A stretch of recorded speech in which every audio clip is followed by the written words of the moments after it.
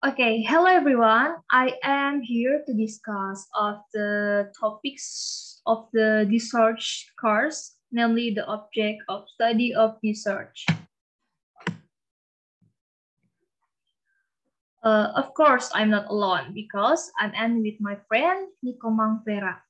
My friend and I will explain the meaning, element, and object of study from research. It's like together with my friend. Let's go get into the material. Okay, before going any deeper, it is better if we first know what the meaning of the disorder itself is.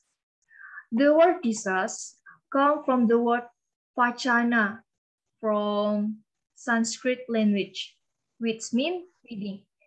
The word disease is then absorbed into Indonesian and its meaning become speech conversation, or lecture.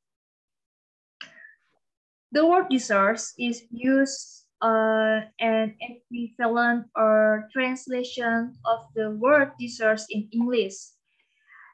Etymolo etymologically, the word discourse comes from the Latin word discursus. In linguistics, discourse is understood as a lingual unit that is above the sentence level. In grammar, thesis is the highest or largest grammatical unit. Then uh, one this one slide we will discuss about discourse position and discourse analysis. Here there are four sequence of position in the file of the source and their relation to linguistic. For number one, there are paragraph and desserts. And then there are two, there phrases, clauses, and sentence. Then the third, there are morpheme and words. And the last one, language sounds. So in this first paragraph, paragraph and desserts, there are two things as input in the classification of desert studies. Then for phrases, clauses, sentence, then treatises of include in the classification of scientific studies. Then for morphemes and words, they are included in the classification of morphological studies. And for the last one, namely language sounds, they enter into the study of phonologic science. And then of the next slide, we will discuss the integrity of the discourse. That integrity of the discourse include the following is, this is, the first is cohesion. The cohesion is the relationship between sentence and paragraph, which can cause the sentence and paragraph to become uh, unfiled whole. So then it becomes a complement research. The, the research about uses as conjunction relation, relationship pattern. The conjunction is a conjunction. Then the second one is coherent. coherence. The coherence is a systematic relationship between sentence. It is this connection that is causes the sentence to become on file. That is the understanding the to process about how to making the sentence.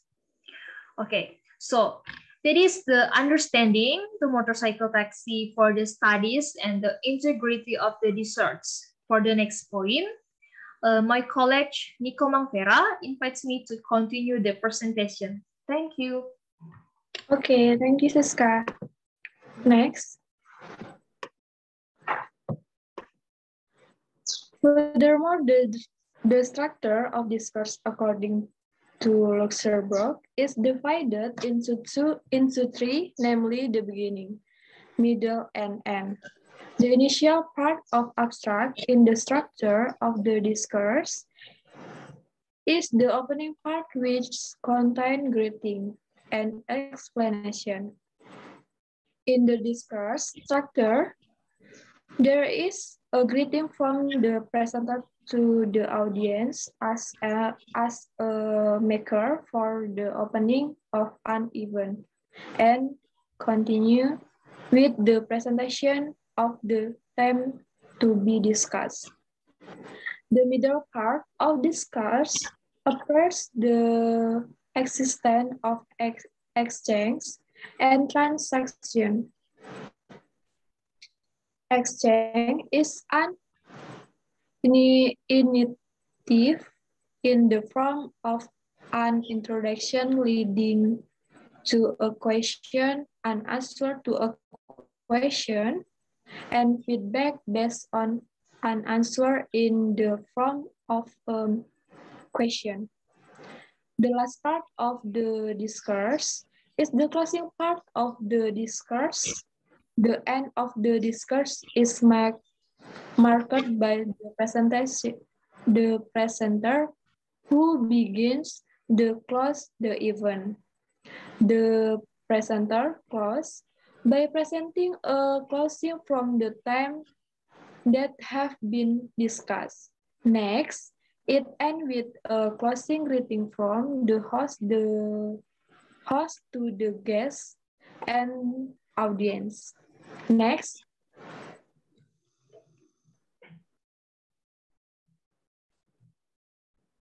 Okay.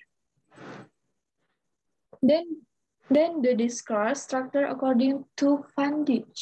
First, the microstructure is the global meaning of a text that can be used, understood. Track is topic.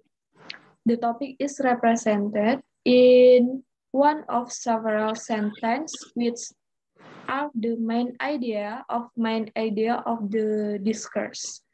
Then the superstructure is a structure that is used to describe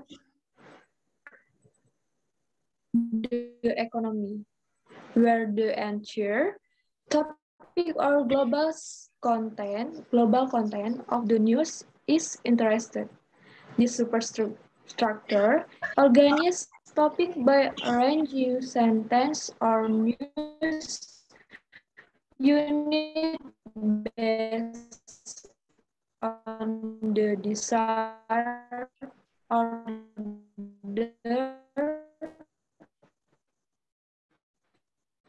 orders generally have a scam or plot from the introduction to the plot show how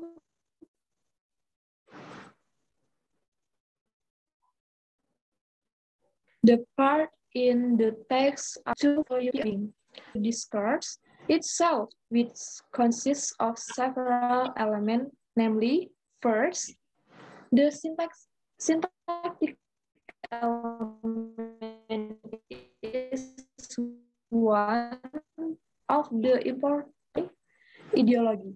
In other words, through a certain syntactic structure, reader can get the meaning behind the sentence in the news. In this element, there is coherent. Coherent element is as conditional and discriminatory.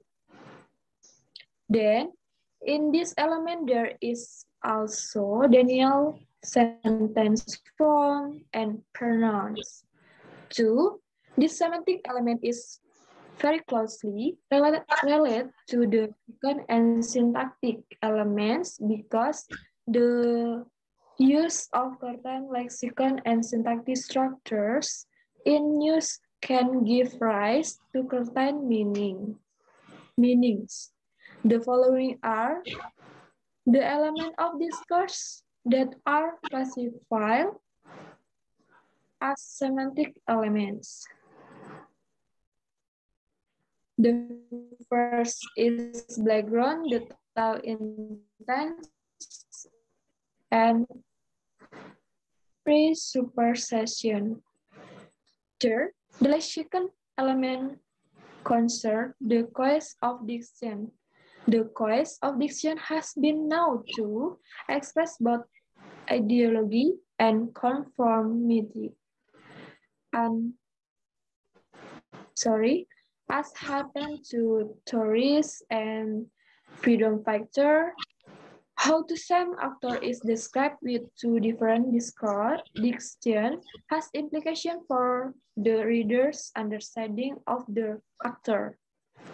Next. Okay. Furthermore, the types of discourse study based on the medium of delivery, discourse is divided into two, namely oral and written discourse. Oral discourse is a type of discourse that, that is delivered orally or directly verbally. Then, written discourse is a type of discourse that is delivered in writing. Until now, written discourse is a, is a very effective and efficient medium to convert insight, ideas, and knowledge. Based on the number of speaker, discourse is grouped into two, namely monologue and dialogue. Monologue discourse is a type of discourse spoken by one person. For example, speeches, news reading, and so on. The dialogue discourse is a type of discourse spoken by two or more people. This type of discourse is in written or oral form. For example, dialogue, dialogue ketoprak, jokes, so on, and so on. Based on the nature of the discourse, it is divided into two, namely literary discourse and non-literary discourse. Literary discourse or fictional discourse is a discourse words from and content are oriented towards imagination, the language adheres to the flow of con connotative, unlogical, and multi-interpretable. In general, the appearance and of the language are literally and beautifully packaged.